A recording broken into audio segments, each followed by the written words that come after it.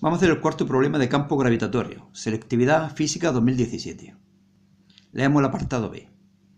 La masa del planeta Júpiter es aproximadamente 300 veces la de la Tierra y su diámetro 10 veces mayor que el terrestre. Calcule razonadamente la velocidad de escape de un cuerpo desde la superficie de Júpiter. Radio de la Tierra 6,37 por 10 elevado a 6 metros, G 9,8 metros segundo menos 2.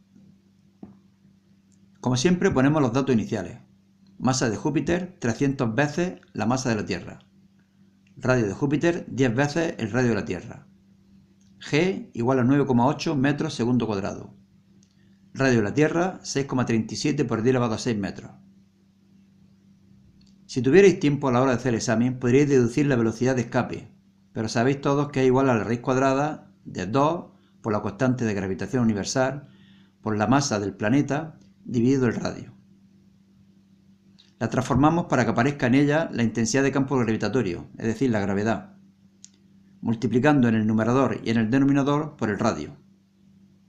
Sabemos que g por la masa partido el radio al cuadrado es la gravedad y por lo tanto la ecuación queda finalmente como la raíz cuadrada de 2gr. Bien, entonces necesitamos calcular la gravedad en la superficie de Júpiter. La gravedad en la superficie de Júpiter será igual a la constante de gravitación universal g por la masa de Júpiter dividido por el radio de Júpiter al cuadrado.